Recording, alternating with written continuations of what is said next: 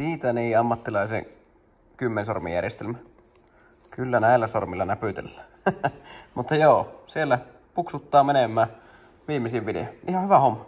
Mutta tuolla on tiikri. Mutta te olette toivonut video asuntosijoittamisesta. Mä voisin vähän turista tähän väliin siitä. Tää vlogi yhteydessä. Kokki täällä taas touhuissa. Ai, ai, ai, ai. Juman kautta mikä tiikeri. Hop.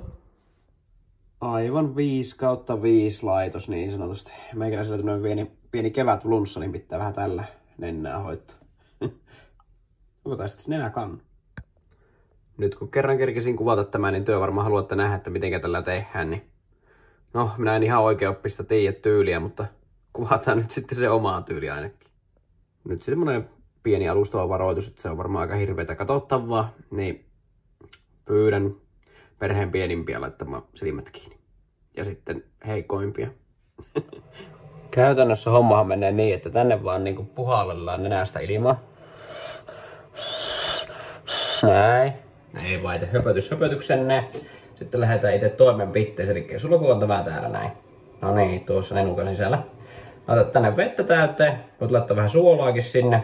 Tai no mitä mä haluakaan itse laittaa. Mutta suosittelisin menemään ehkä näillä ainesossilla. Sitten lähdetään kääntämään päätä. Ja sieltä se vesi sitten tulee läpi. Kaikkea tännekin tulee kuvattu. No, mutta tämmönen toimenpide. Sitten vaan... Sitä mä kehtänyt tässä tehdä. Mutta joo, näin sitä tehdään. 5 kautta 5 lait. Kohta kuulette, kun meikäläiselle niistä vielä enää, niin homma on ihan auki. Sitten kun on saatu tuo operaatio tehtyä, niin sitten oikein tuliset siivet niin sanotusti huiviin, niin kylläpä lähtee nuhaa pois. Ne alkaa mutta itse olemaan valmiit. Tuosta noin. Tästä tulee ylivoimasti eniten meikäläiselle kysymyksiä. Pitää varmaan tehdä tästä ihan melkein omaa video. On ollut hyvä. On toiminut. Se tonne imasee. Oh, tuolta se hönkässä. Siitä niin, siipiveikkojen kastiketta ja Atrian siivet. Ja tällä kertaa paistoin ne tolle, tai paistoin vaan uunissa oli, niin tämmöisen rappeiksi, koska mun mielestä ne on hyviä. Nehän vissiin pitäisi lähteä silleen, kun sä painat tästä, niin tuli ihan pitäisi irrota silleen nätisti. Ja Pepe Maki. Kyllä tällä nuha voitettu.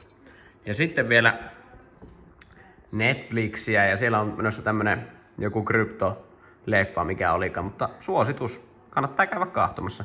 Vaikka sulla ei olisi kryptosijoituksia, niin ihan elokuvanakin ok. No niin, sitten taas mennään ja nyt lähdetään kahtoon vähän niitä asuntosijoitusjuttuja, kun sitä on haluttu videota.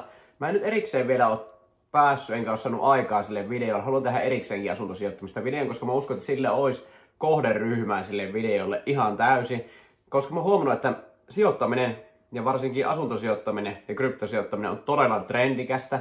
Ja te varmaan haluaisitte niinku kuulla tavallaan niinku tämmöisillä ihmisillä, ketkä on jo aloittanut vähän sitä toimintaa. Eihän mä nyt paljon voi itsekään tituleerata mitenkään asuntosijoittajaksi, jos mulla on vaan muutamia kämppiä.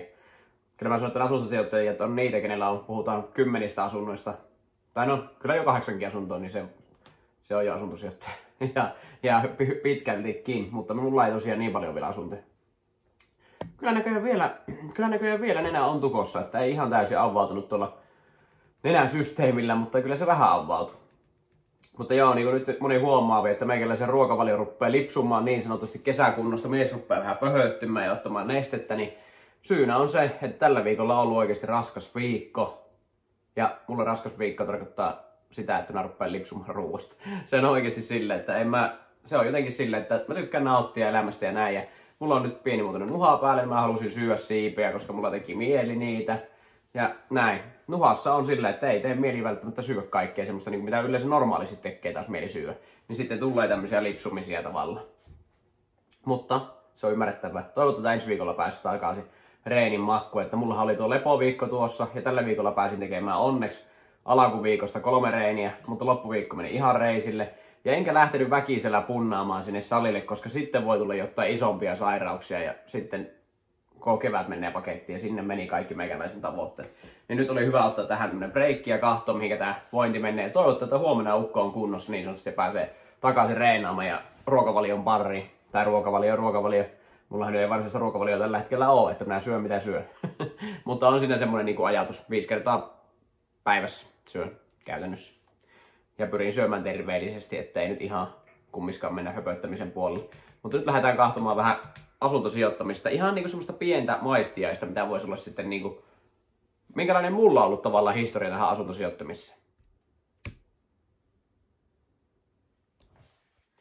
No niin, vaikka mä en tykkää katella menneitä, mutta tällä videolla ajattelin, että on hyvä lähteä kahtomaan vähän sinne menneisiin, millä mä oon tehnyt tavallaan niinku sen työn, että mä oon saanut hommattua sen ensimmäisen asunnon, toisen ja kolmannen. Ja mitenkä mä oon, minkä ikäisenä mä oon laittanut itselle niin tavallaan semmoisen listan, mitä pitää tapahtua missäkin kohtaa. Välttämättä niitä ei pysty tekemään tietyissä kohdissa, sitten vähän joustetaan asioissa, mutta mennään kumminkin määrätietoisesti tavallaan kohti sitä tavoitetta. Tämmöinen tavoite mulla onkin ollut asuntosijoittamissa. Mä en yleensä tykkää katsoa taaksepäin.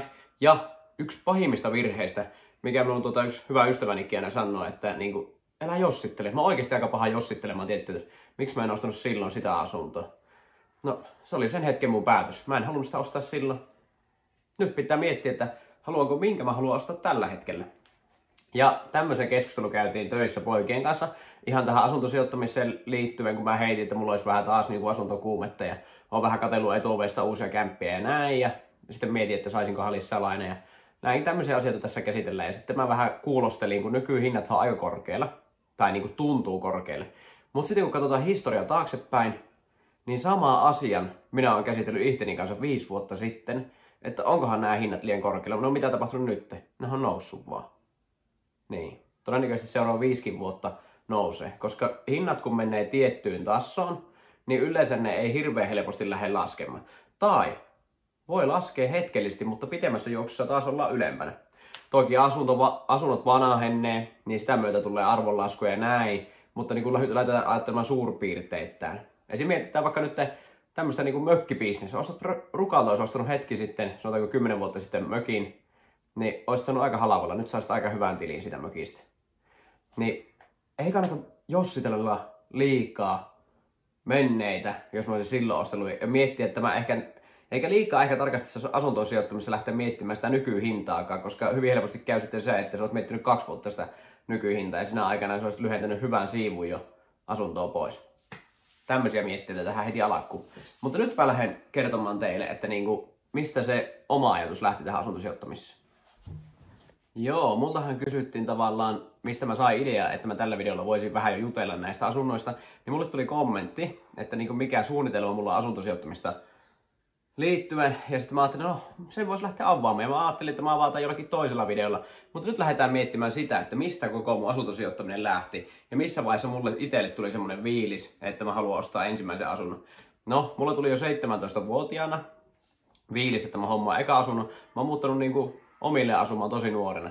Niin mä silloin mietin jo, että nyt olisi järkeä ostaa itselle asunto, koska se on vaan yksinkertaisesti, olisi ollut järkevä siinä hetkessä. No, mä en saanut silloin tietenkään laina, niin kuin varmaan ymmärrätte, 17-vuotias kaveri opiskelee ja tekee töitä, että eihän sillä nyt ole mitään niin kuin, vakkuuksia tavallaan ostaa, jos tietenkään, tietenkin jos olisi rahaa jossakin muualla, mikä voisi antaa vakkuudessa, niin totta kai, sitten olisi ollut tilanne eri. No armeijan jälkeen 20 mä tein saman peliliikkeen, lähi hakemaan lainaa, en saanut silloinkaan pankista lainaa tuli kylmä rätti niin sanotusti päin kasvoa ja meikäläinen oli, että no vitsi, mitä hän tässä tekisi. Yritin kysellä takkauksia sieltä sattuu täältä ja ei, ei niinku minkäänlaista apua, mutta voi hitto, mä haluan homma tässä asunnon. Ja siinä puoli vuotta sitten tehtiin pari peliliikettä, vaihdettiin vähän työpaikkaa ja ruvettiin tekemään vähän kahta työtä yhtä aikaa. Ja mä yksinkertaisesti päätin, että Jumalan kautta, jos pankkeina on rahaa, niin mä tienaan vaikka itse ne rahat siihen ensimmäiseen asuntoon. Ja mä painoin sitten menemään hullun kiilto silmässä niin sanotusti töitä ja kahta töitä tein yhtä aikaa ja siinä tienattiin aika mukavia summia niin sanotusti puolen vuoden aikana ja no, mulla oli aspitili siinä koko ajan käytössä ollut ja se raha meni täyteen sieltä ja sitten tienattiin vähän ylitekin, niin tienasin ekka asuntoon 20 pinnaa sen asunnon hinnasta, niin pankki sanoi vaan, että kättä päälle, se on sun asunto. Niin mä sitten selvä. Sitten mulla oli parikymppisenä ensimmäinen asunto, kaksi jo, rivitalo, asunto. Minä omistan vieläkin nykypäivänä sen asunnon ja se on mulla vuokralla. No, nyt tuleekin kysymys. Että kun mä oon maksanut tämmöisen aloitusrahan ja nämä, niin mitäs nyt, että niinku, saanko mä ottaa rahaa jo itselle siitä, kun se on vuokralla, niin en itse asiassa saa, että se menee aika plus miinus nolla. No, sitten kun me asuttiin kaksi vuotta siinä kaksiossa, niin sitten mulle kehkeytyi ajatus, tai meille kehkeytyi ajatus, että pitäisikö ostaa oma kotitalo. Sitten mä mietin, että no millä hitolla, kun oli niin vaikeaa tuo lainansaanti tuohon ensimmäiseenkin niin asuntoon. Mä sitten mietin, että no joo, mulla on tulot kohentunut siitä ajasta asti ja aika hyvin on jo maksanut sitä asuntoa pois, että no miksipä ei. Että molemmat ollaan töissä ja näin, niin lähdetään miettimään asiaa. Ja no siinä sitten eri pankkien kanssa käytiin neuvotteluja. Entinen pankki oli Nordea silloin. No sitten Pop-pankissa sen takia päädyin Pop-pankkiin, koska ne mahdollisti sen, että mä pystyin jättämään tuon entisen asunnon vuokralle. Muut pankit olisi melkein vaatinut, että minusta myyä sen, että olisi saanut tavallaan sieltä sen takkuurahan tähän omakotitalloon. Mutta Poppankki ei sitä nyt siinä tilanteessa vaatinut. Näki, että tuossa on pelimies, tuo tekee rahaa vielä joskus. ei vaan, vitsinä vitsinä. Tämä oli tämmöinen välikevennys tähän väliin. Niin Poppankki mahdollisti sen, että mä saan jättää sen asunnon. Mutta helekkari, mä vaihan Poppankkiin Nordeasta. Ja en ole katunut päivääkään. No, tässä on sitten asiat edennyt eteenpäin ja näin. Omakotitaloa lähdettiin lyhentelemään ja pikkuhiljaa huomasin tuolla etuoven kautta, että meidän omakotitalon hinta voisi olla korkeampi, mitä se on nykypäivänä. Että siellähän voisi olla takkuuksia uuteen asuntoon varten. Mä että no, se on yksi vaihtoehto, että käytetään niin omakotitalossa takuita siihen uuteen asuntoon. Sitten kaikista paras yleensä aina se, että tienaatpa yksinkertaisesti rahaa sen 20 pinnan asunnon hinnasta ja lyöt sen siihen pöytään. Ja no, näin tapahtui, näin lyötiin. Ja nyt meillä on kolme asuntoa. Mutta nyt mä kerron sen tarinan ihan alussa. Mä parikymppisenä päätin, että sitten kun mä oon 30 V, Niko Halonen, niin mä omistan viisi asuntoa. Nyt mä oon 26 ja mulla on kolme. Eli mulla on vielä aikaa siihen kaksi asuntoa hommat. Mä uskon, että mä pystyn siihen. Ja sehän on vähän tässäkin hommassa, että nälkä kasvaa syödessä. Niin se on. Joka asiassa pätee sama. Pätee kryptosijoittamista. Mutta mä voisin jaaritella teille vaikka koko päivän näistä asuntosijoittamisesta. Nyt päästiin jo vähän alakuun. Avataan tätä palettia. Teidän on kannattaa lähteä meikäläisen matkaan mukaan. Tilata tää kanava ja tykätkää tästä videoista. Ja tällä videolla ei ollut varsinaista niin Poppankin kanssa yhteistyötä. Toivottavasti joskus pääsen tekemään niiden kanssa yhteistyötä, mutta sanotaanko näin, että hyvin on mahdollistunut meikäläiselle asioita elämässä ja pankki on aika tärkeä tässä asuntosijoittamissa niin mukaan. Ei kenellekään ole tuhottomasti rahaa tilillä, että se pystyy tekemään asioita. Niin kyllä mä niitä voin mainostaa ilomieli just sen takia, koska ne on mahdollistanut juttuja.